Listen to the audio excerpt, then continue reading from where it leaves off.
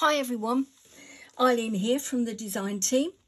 My video tutorial today called Birthday Wishes features the beautiful fairy called Sky along with a leaf from our sticker stencil set and one of my favourite Lavinia stamp stencils called Buds.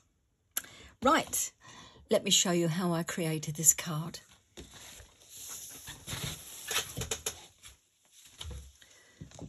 I have a couple of sheets of copy paper and a piece of Lavinia Stamps multifarious cardstock in white and this is 12 centimetres by 12 centimetres. The leaf stencil from, and this is the negative image, there's a positive image as well, you get both. And this I'm going to position on the side of my card, going up the right hand edge. I don't want it right to the top though. So let's see how I do this. I'm, I'm using, I'm putting the stencil underneath the, the cardstock here, sort of it grips it there. And then I'm using some Sweet Poppy Stencil stencil tape just to give it a little bit more security on the sides.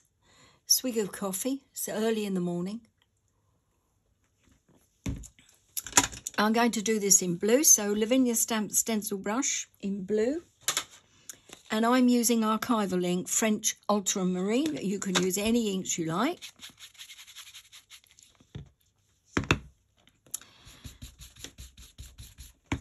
And just going through the stencil is a very quick card this one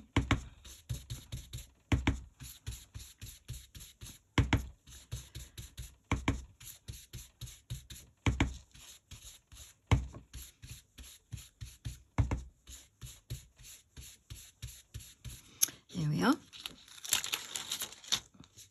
And then moving the stencil around, but I'm just going to give it a quick wipe with some um, kitchen towel, not wet cloth, just want to wipe off any surplus ink. And then popping this on, and now I'm going across the card and at an angle still. Like so, trying to get this underneath the card. That's better. And then that's it, over to the Make sure you can see this. Oh, yeah, you can. Sorry about the squeaky chair. Um, over to the right-hand side of your card. And then I'm bringing in chrome yellow, archival again, another Lavinia Stamps brush.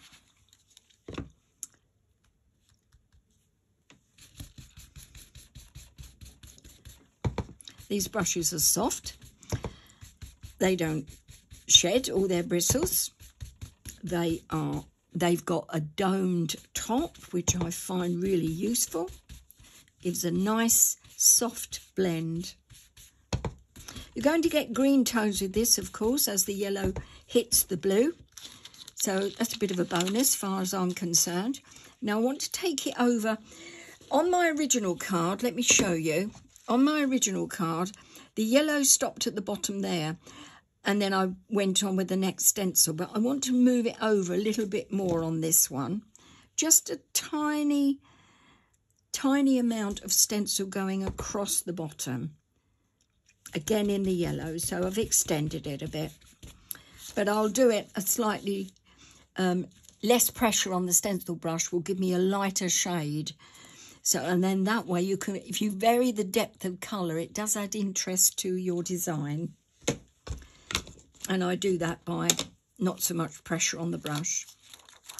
Okay, so I've finished with this. And now I'm going to bring in buds. I adore this stencil. It's quite bold and dramatic. Now, I need a lot of white space, both on the left-hand side, I'm going to have a bit, but mainly on the top of the card. So I'm bringing the stencil down to around about there.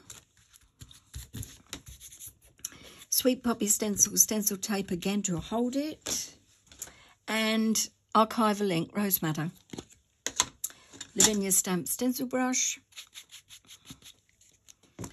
And then along the bottom, I'm going to put, just quickly flicking up, right the way across the bottom.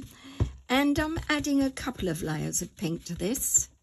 So it's quite bold with the colour scheme at the bottom. But as I go up the card, less pressure on the brush so that I get a softer look. A softer, gentle look. Just a whisper of the pink going up. And then as I'm coming over, avoid this hard line at the top. You don't want to go anywhere near that. Coming over, let's have a look, see what I've got. Oh yeah, that's fine. Oops. So I don't think I need any more. I think that uh, Bud Stencil has got its five minutes of fame. There's quite a bit of it there. Now, this is the good bit as well. I'm enjoying this. I hope you are too. Um, stamp press. And this is my MISTI.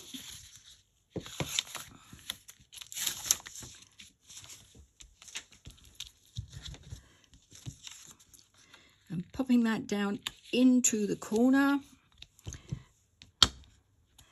and using Sky. She's such a lovely fairy, this one.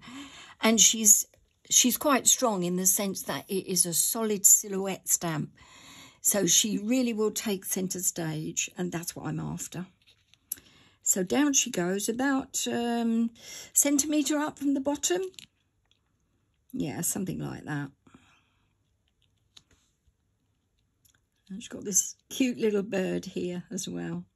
Just making sure she's sitting comfortably. right. Down we go.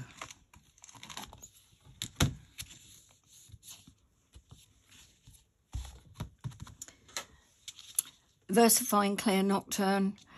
Uh, it's a lovely fluid ink. This, in my opinion, the best for stamping.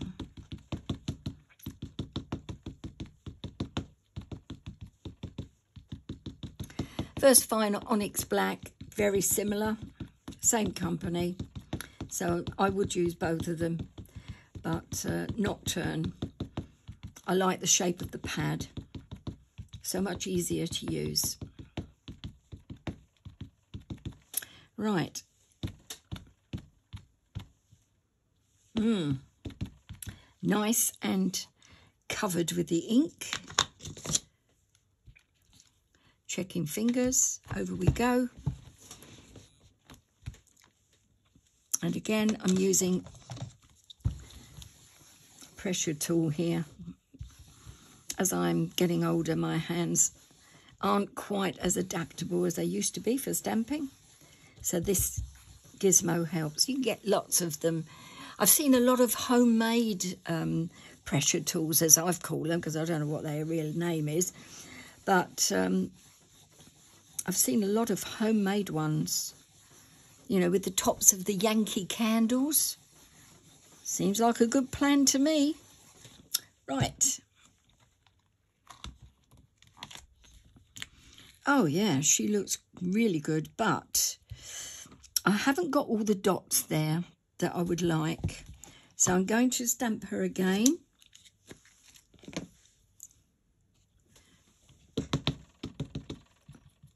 Put more ink on that wing area.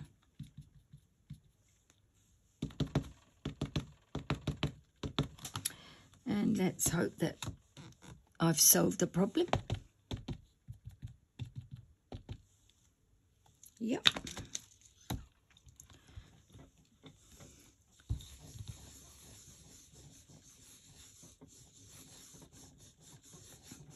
A bit more pressure in that area with the wings. It's a lovely design and all those little dots do add to it. Ah, that's good. Right, got them now. Okay. Take this out.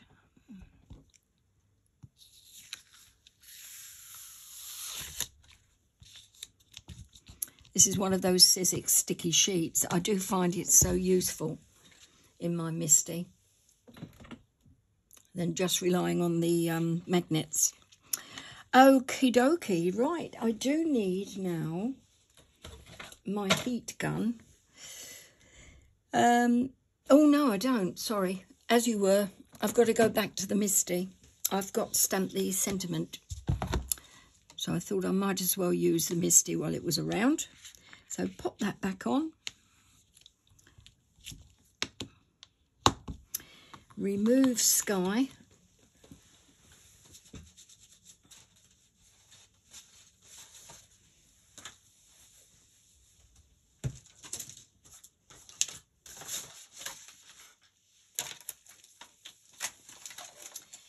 and I'm using Birthday Wishes and it's from the Lavinia Stamps Heartfelt Verses sentiment set.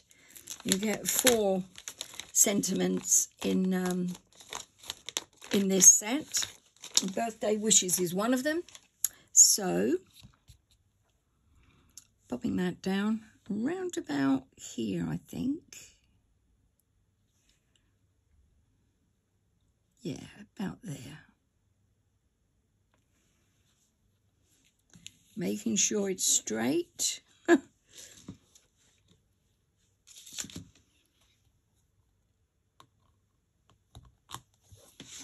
Now, just checking on the grid of the MISTI now that it is straight.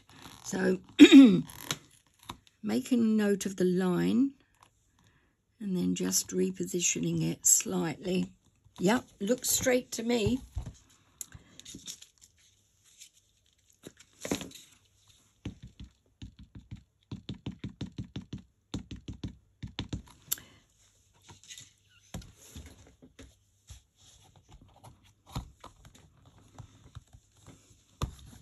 Not too much pressure because it's a word and it you don't really want to put too much pressure on it because it's quite delicate. Oh, look, great.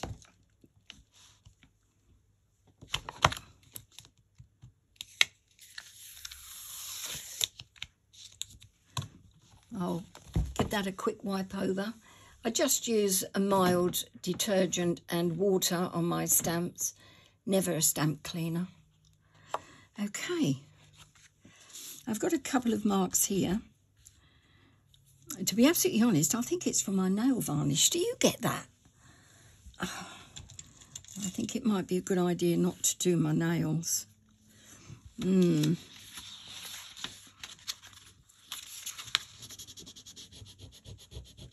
Anyway, got my eraser and that actually has removed them. So I'm okay.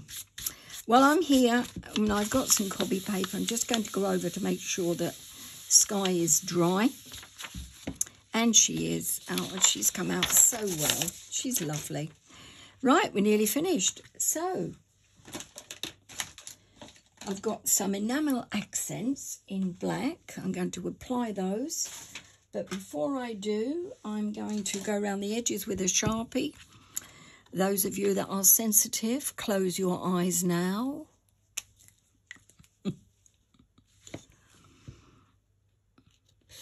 can use a ruler for this and do it at the beginning if you want, before you even start the card. That is always a good plan.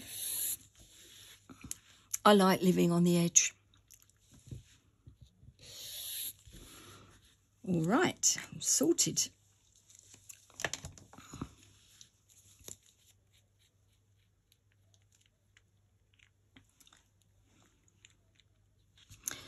And then the final thing is to just to put down a few dots of this, just making sure it's flowing okay. So I'm going to follow the sort of the curves of the um, bud stencil. Don't want the dots to be too big, so three there. And then I'll have another one, two, three, four, five, getting smaller as we go along.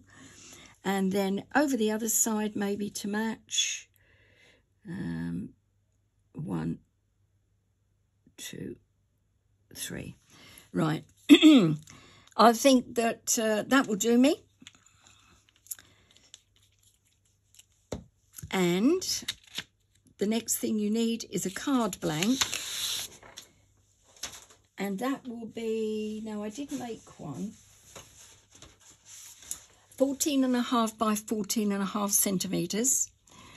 And it's tenfold. And again, it's uh, multifarious cardstock in white to match. I'm not going to go around the edges of this. I'm just going to use this black edge as the frame. Pop that into the card. I'm not going to glue it down because my um, accents, enamel accents, aren't dry, so it would be bad news to try that. So I'm going to bring back my board